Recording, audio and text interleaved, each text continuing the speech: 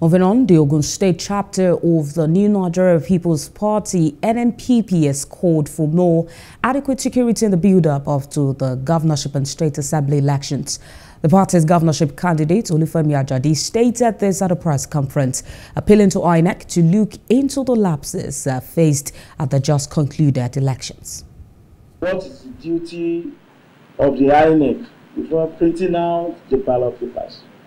That is to tell you that it is intentional. The, the act, it is intentional.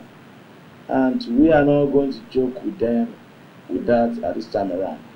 I, yeah, we've written to them, we've submitted our letter to correct that mistake before this forthcoming election.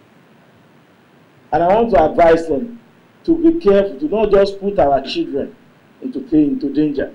As you remember some years ago election where some hoodlum because of INEC uh, incompetence they lost a lot of corpers into that incident. So please don't let them kill our children.